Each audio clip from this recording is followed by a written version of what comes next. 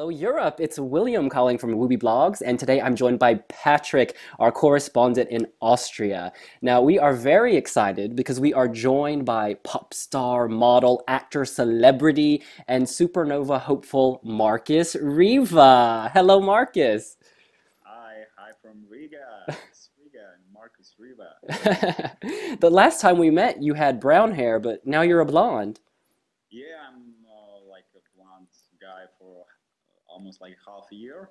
And it's because of the TV show that I did last uh, fall in uh, Moscow, in Russia. And the producers decided me to make this very blonde guy. And so I'm still sticking with this image because uh, uh, on when uh, on this uh, Sunday, there's going to be a music video premiere for my new single "Take Me Down," which is also for the Supernova and Eurovision.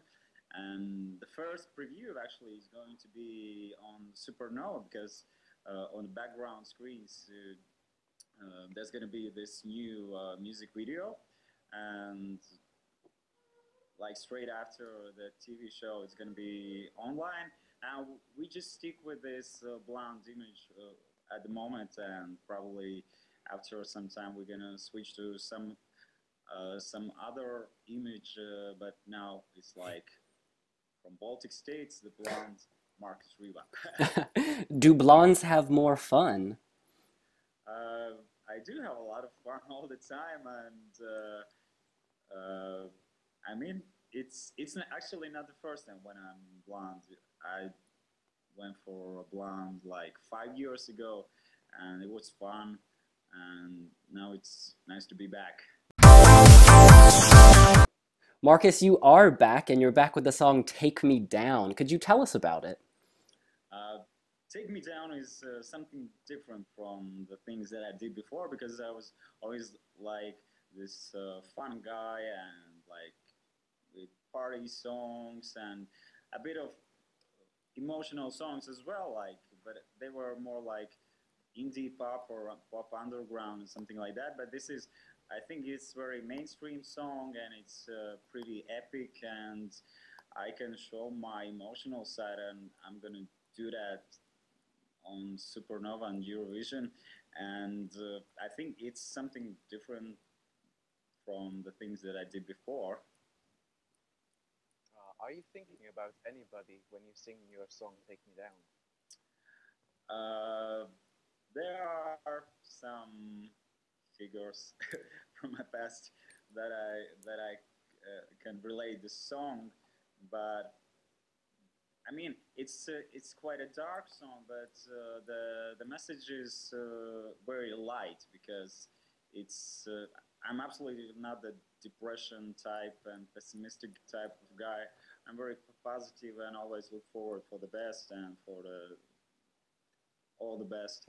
And uh, so I think it's it sounds quite like uh, dramatic, but the message is very very light. And no matter what happens in life, I will go with you because I love you so so so much. I think that's that's how it goes.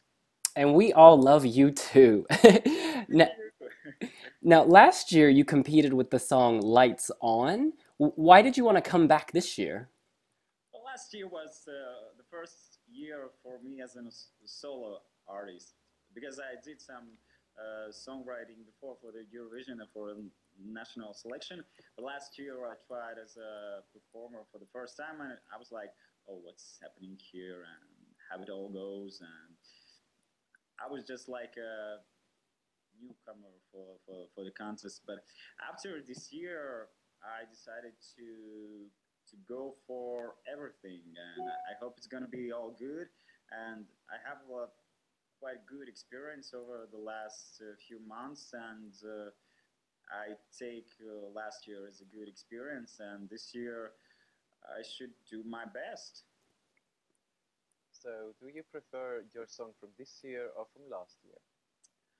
I pref- I think I prefer a song from this year because uh, this is this is something deeper and where you can uh, where you can put a great show because uh, we're gonna make a great show for, for, for, for the contest.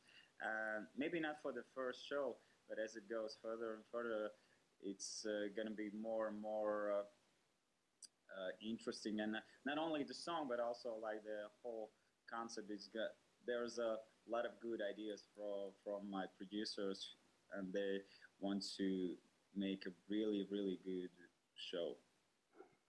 And what was your reaction last year when you placed 11th? Were you disappointed? I wasn't disappointed. I was very happy that I made it to the final, and I think uh, you can always do better. And I was, I was, uh, I was quite satisfied with how I did. Of course, I can always sing better and be better for somebody, but I was. Uh, I was I was happy and I didn't expect like uh, some kind of big wonder was gonna happen. Of course, I, I was like, maybe I would like to win, but but uh, I took it as a great journey, and uh, it's it's a game. You have to. Everyone wants to win, but uh, you have to know how to lose as well. And I, I was not disappointed. I was partying all night long. Uh, what did you learn from your Dziesma experience last year? Um,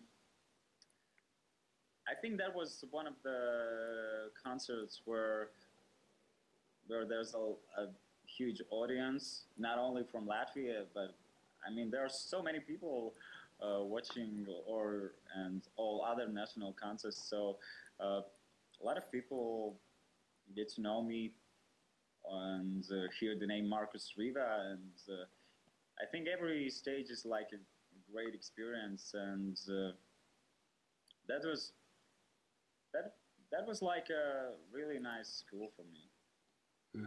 And of course, you never know what's going to happen. And last year, Aarzemnieki won with Cake to Bake. Were you surprised? I was surprised because uh, all the expect- expectations were absolutely different, but um, um, how to say it is how it is. I mean, I wish all the best for the all performers and all the contestants from this year, from last year. So how it is, uh, how it was, that it was, and we are all looking just. Uh, in, I, I am looking for the best future. Uh, sadly, Latvia has not made it to the final since Eurovision in Eurovision since 2008. Uh, do you think your song could get Latvia back into the final? I think so because uh, uh last last last year I participated in uh, this big uh, primetime TV show Hachuk Meladze, which is like a sort of Simon Cowell in Russia and Ukraine. Uh, this Mr. Meladze, he's a producer and composer. He's a legendary person. And he was making uh, a new boys band. And so I decided to go to Moscow for the castings, and uh, I made it through the first casting, then the second one, and then we went to the boot camp, and there was a big uh, and really amazing. If you can find it on YouTube, you should watch because the production was absolutely amazing and stage was so huge. I think even bigger than for the Eurovision, and uh, that was the best experience for me in my life. And it was like a new and huge uh, platform for me as an artist because I got a huge fan base uh, from Russia, from uh, Ukraine, from Belarus, Belarusia, from Kazakhstan, from even from Latvia, and even there are like a lot of people following this uh, TV show, and they are supporting me. And I think that from these uh, few countries, I could get some 12 points in the big final. So, so I think I I think I could I could get Latvia to the final and uh, make a good show because uh, uh, at the moment uh, one of my producers is Alan Badoev who has done a lot of good and like very amazing music videos for uh, Russian artists and Ukrainian artists and like Tina Karol, who was also in Eurovision from Ukraine, and he actually made this uh, uh, production for Loboda when Oh. uh, she was uh, participating in uh, Eurovision Song Contest from Ukraine in Moscow. I think it was 2006 or 7 something. And so he has this very nice vision, and uh, I think we, if we win, and if you go to Austria, then we're gonna put a lot of, uh, lot of good people and a lot of good production to make it not like take me down, take me down, but it's gonna be like everyone's gonna be watching. Oh wow, wow, this is so cool. So maybe we'll see you in a hamster wheel like Svetlana? No. Oh, nah, Alas. Um, on Sunday, it was the first semifinal of Supernova. What, or sorry, first heat rather. What did you think of it? I was, uh, uh, of course, watching that because it was interesting to see how it all goes, and I have to be on the stage already on this uh, Sunday. And I like that they changed a bit the concept, and uh, they are improving very good in production, so it looks much better than from the last year. and uh, maybe not sure about few songs and few performers, but that is just my personal opinion. But in uh, in general, I think it's a good step to change the format and to find better ways to select the song, the artist, which is very important because not only the song is working and not only the artist is working, and I think it's like a whole package. The person, the song, and all the production. That's very important. So in your heat, there are many different uh, styles of songs. Uh, who do you think uh, is your biggest competitor? Uh, actually, I haven't heard all the songs because uh, some of the songs are like still in process, and I'm gonna hear them for the first time. I think on Saturday when there's going to be first rehearsal, and uh, I mean there are there are good songs uh, as well, uh, and I will not say which one I like, but, there are songs that I like. A lot of readers on wiwibloggs and all over the internet are saying that Markus Riva is the favorite to win. Do you see this as pressure or motivation? It's both. It's like a like pressure. It's like pressure for myself, and uh, it's also like a huge motivation because my fans and my uh, followers and supporters they are the biggest motivation to go and to to not think what's going to happen uh, like after the show, but I I really want to use those three minutes to really open my soul with the song "Take Me Down" and to touch them like like when I when I first showed this song to one of my friends, she was literally crying and she was saying, "Wow, this is so emotional and this is so good." And I think that's uh, the best for the artist to to hear this uh, that people are touched by your uh, material. Uh, you have done a lot of modeling. Uh, how did you get involved in this business? Actually, a lot of people think that I'm still doing that, but I'm, I'm doing that like as a musician, and there are some projects where I'm involved as a model, but it's like not because you are a model, but because of you're like musician, Markus Riva, some somebody knows you and like that. But I was doing that very accidentally. I think eight or nine years ago, when I was asked from for, from one uh, Latvian designer to participate in, in the fashion show, and I was like, okay, I can do that. It's nothing uh, like nothing like extreme.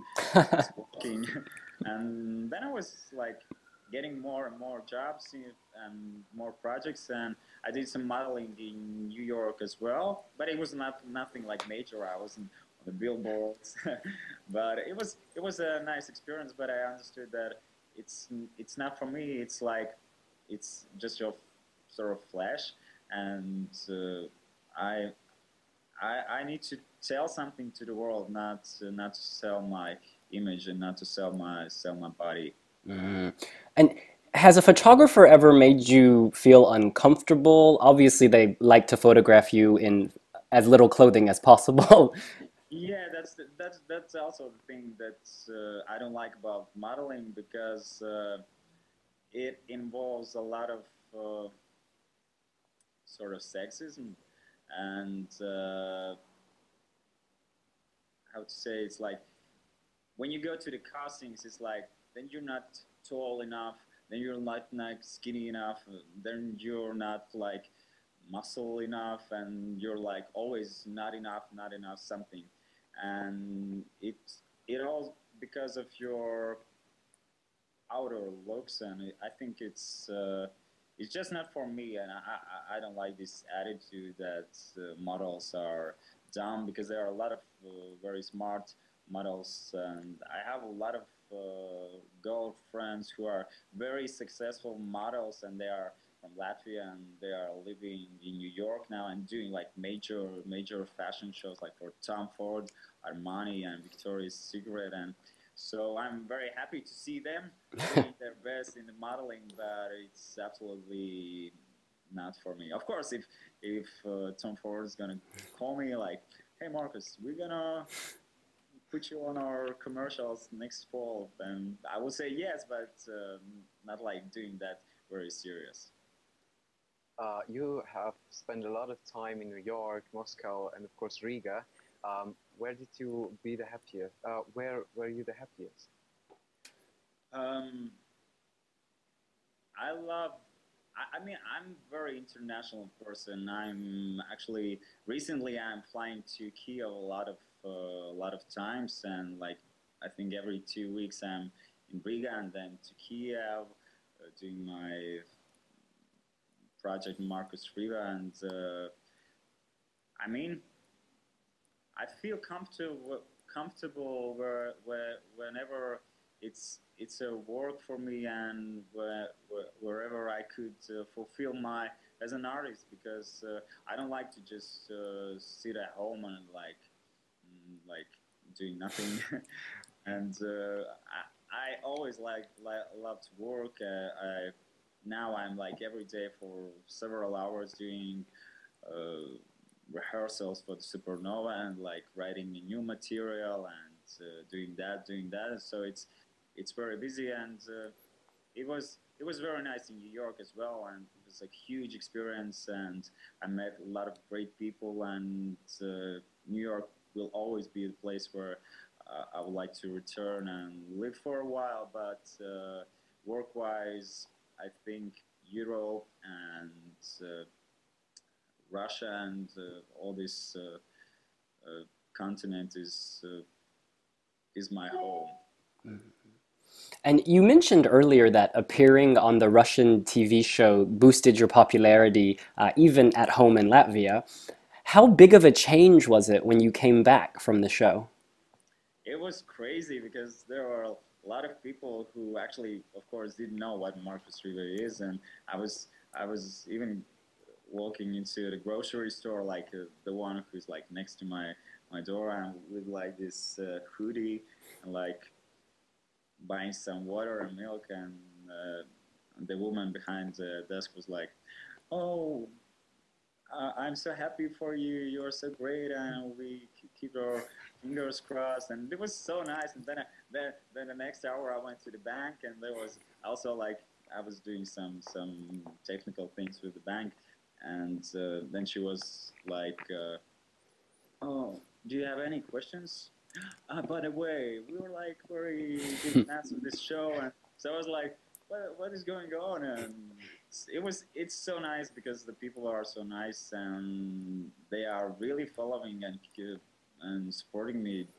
Were were supporting me during this TV show, and uh, I have such a great fan base in Belarusia, Belarusia, and I went there already with uh, with the concerts, and it's it's like a dream come true, and that's that's the thing I want to do. Not being like famous, but to to make people happy, and they are happy, when they see me and when they listen to my music, and that's so so such a blessing for me.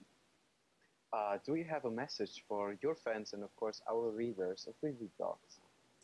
Yeah, of course. I mean, that's uh, th- that's the thing uh, that's happening in the world right now. Because I mean, it's, it happens all the time. There's a lot of crazy shit going on, like wars and like crises, and money is not enough for everyone, and then some disease and something like that. But I think it's always very very good to stay as a people as a person as a good person and give a lot of positive energy and uh, give a lot of love and i think music and uh, arts is the best way to to give it to so i am so happy that there are so many people who are excited about not only my music and not only about my projects that i'm doing but in general like they are so happy to hear a lot of new music and go to the concerts and reading books and uh, taking this uh, best experience and best emotions from from the arts. And i think art is going to save this world. Let's hope so and we hope that you'll be the one to do it Now, of course, our readers, you can watch Markus compete in the second heat of Latvia Supernova this Sunday. He's singing the song Take Me Down, and we're sure y'all are going to want to go down, pick up your phone, and vote. Thank you to Patrick. Thank you to Markus. Um, so much. And we can't wait to hear you sing on Sunday. Thank you. Cheers. Bye bye.